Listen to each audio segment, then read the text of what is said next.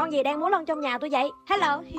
Đang nằm tận hưởng quá kìa. Cô ơi quay qua đây cô vi cái coi. Ê, đúng rồi. Chuyện là ông già của thằng bu người dính đầy mực, nên là cũng muốn nó dính mực đầy người giống ổng. Trời ơi, cái gì chứ? Cái đó để tôi. Giờ mình ra mình tắm cái, Vô sấy khô tỉa bộ lông cái. Đó, nguyên con báo đời. À bậy bậy, nguyên con báo đốm đứng trên bàn tôi luôn. Hồi nãy thì mặt bún ra sữa, Còn giờ nhìn mặt là thấy anh ba báo liền luôn á.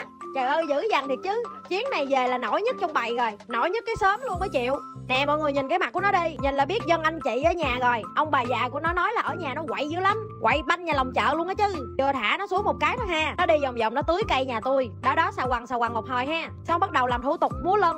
10 lần nó đánh dấu lãnh thổ là 10 lần như một. Nãy giờ mấy ní nhìn nó giống con gì? Có giống con báo không? Hay là giống con cọp? Hay là giống con gấu mèo? Chứ tôi là tôi thấy nó like mỗi cái thứ rồi đó. Nói gì nói chứ cái outfit này mà tết thì kéo xì dách là cũng cứng khờ á. Người ta thấy là người ta rén liền. Rồi khúc này ai rảnh không? Ghép giùm tôi cái nhạc múa lân vô cái. Ta rung ta sen, ta rung ta sen.